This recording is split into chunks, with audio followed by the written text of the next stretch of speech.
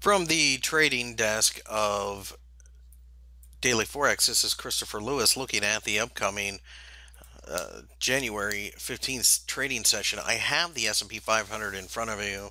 And you can see that we had a positive day on Thursday, but I am still a bit concerned about the area just above, uh, really to about 1950. It looks like that will be a bit resistive, so a resistive candle or an exhaustive candle would be a nice selling opportunity as we continue to simply consolidate. Above 1950, we should go to 2000 in the short term where we'll find even more resistance.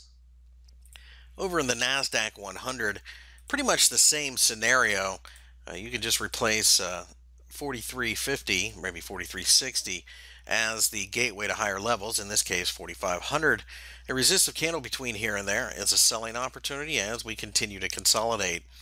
I am a little bit more leery about taking the longer term uh, buy and hold approach, even though I do think that the market eventually rises, just because there's so many moving parts right now. I think we will get a couple more knee jerk reactions to the downside, so selling is going to be the easier thing to do.